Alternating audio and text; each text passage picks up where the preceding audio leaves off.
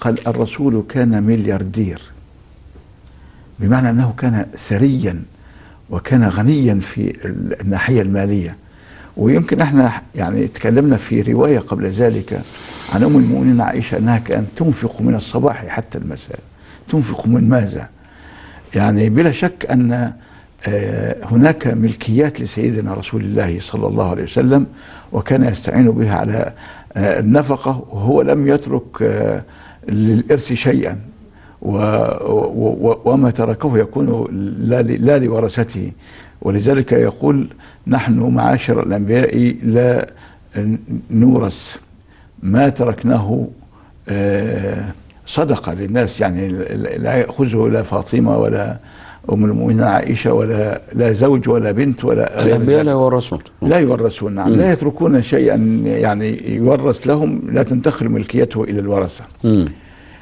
فعلى كل حال كيف إذا أنفق. آه رسول الله صلى الله عليه وسلم كان على هذه النحو هذا النحو آه من الغنى والثراء ثم بعد ذلك يمر الشهر والشهران وثلاثة أهلة ولا يوقد في بيت رسول الله هذا من العجب العجاب لأنه قد راهن درعه ليهودي.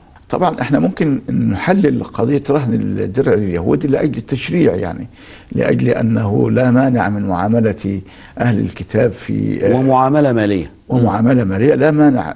يعني وباتساق مع- يقتضيها يقتضيها الرهن إن يرهن هو صلى الله عليه وسلم أو أحد من أصحابه ويقر على ذلك. فكونه فعل صلى الله عليه وسلم ورهن فهذا يدل على معاملة مالية مع الآخر. آه مع الآخر. لكن أنا أنا أقصد يعني بالمعنى الدارج أنه كان فقيرا. آه، هو آه، يف- يفسر ذلك مع هذه الدراسة التي عملت لأنه هذه الدراسة التي عملت أخذها من الروايات. دي دراسة أكاديمية. آه، دراسة أكاديمية. عملها باحث وألتقيت فضيلتك في نعم. المدينة المنورة. آه في المدينة الم- تقريبا يعني عشان أنا برضو مش مم. مش متذكر جميل. تماما. مم. لكن أنا التقيت به وأهداني هذه الرسالة هاي. التي تقول من واقع مستندات الروايات الواردة في كتب السنة بحصر آه، ممتلكات سيدنا فج- رسول الله. فجمعها و و و وجبرها بالمعاملة العادية. آه هذا يفسر لنا قضية الكرم. أيوة. هذا يفسر لنا قضية العطاء.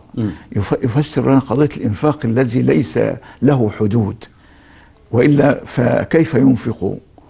آه، لا شك أن هذه الثروة أو هذا هذا الذي جمعه رسول الله صلى الله عليه وسلم كان زاهدا آه، أبعد ما يكون الزهد. يعني الدنيا ليست في قلبه أبدا وإنما الدنيا في يده. وما دام الأمر كذلك فهو يعطي الآخرين. ألا يمكن أن تعمل حساب لغد؟ يعني بكرة بالذات كمان مش مش للمستقبل اللي هو البعيد.